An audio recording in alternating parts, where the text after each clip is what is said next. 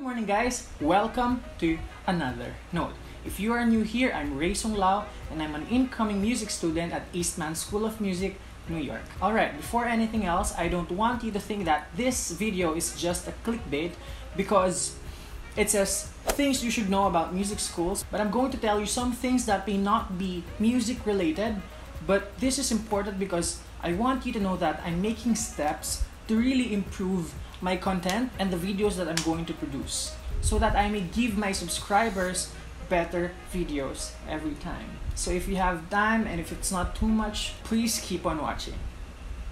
Alright, thank you for staying. So first I want to say that as you may know, I've been trying to grow my YouTube channel. And with that, I want to focus more on contents that are educational and informative.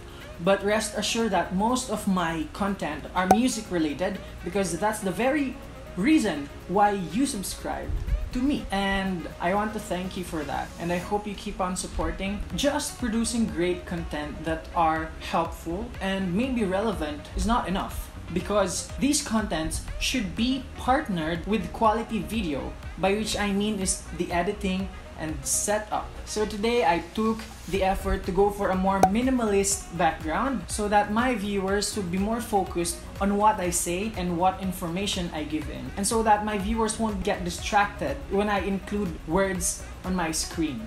So on my background, you'll see three squares that I made from scratch and an orange card which I think I got from Berlin. It says, it's in German, but it says, music is the breath of the soul.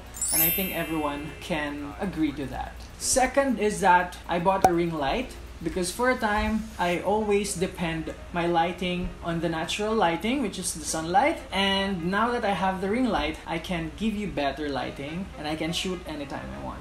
And lastly, I also have friends from different countries who are trying to watch my vlogs but then again they couldn't understand because I'm, I'm talking in Tagalog. So now I'm gonna try to speak more in English. And it's actually nice because one of the very reasons why I wanted to do vlogs is to improve my communication skills and I think I'm doing better in that. Alright, so with all those tiny steps and efforts that I'm exerting, this is what it looks like when everything is put together.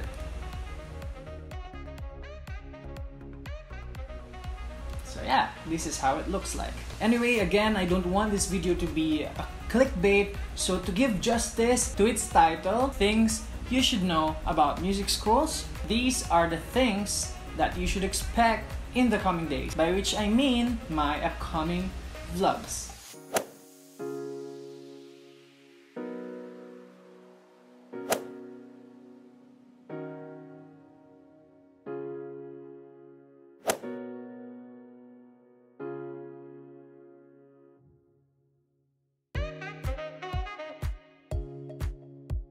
So just to share, I'm very much open to suggestions and ideas. So if you have anything in mind that you want me to explain or to do, just let me know. Comment down below and I'll try my best to shoot that content.